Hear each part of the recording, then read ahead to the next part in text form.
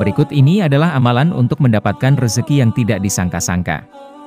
Terdapat sebuah amalan wirid yang perlu diamalkan dengan setiap hari agar rezeki datang secara tiba-tiba dan tidak disangka-sangka.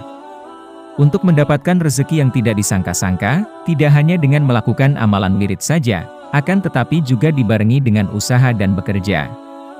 Adapun dua cara untuk mendapatkan rezeki yang tidak disangka-sangka, rezeki tersebut dibagi menjadi dua jenis. Pertama, rezeki maklum adalah rezeki yang datangnya dari hasil jerih payah seseorang dalam berikhtiar atau bekerja. Contohnya adalah mendapatkan gaji di akhir bulan atau keuntungan dari berdagang.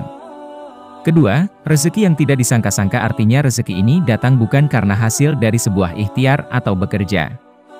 Rezeki ini datangnya tidak ada yang tahu, setiap orang berpeluang mendapatkan rezeki yang tidak disangka-sangka. Untuk mendapatkan rezeki yang tidak disangka-sangka bisa dengan mengamalkan satu amalan wirid yaitu dengan istiqomah, mengucapkan kalimat istighfar.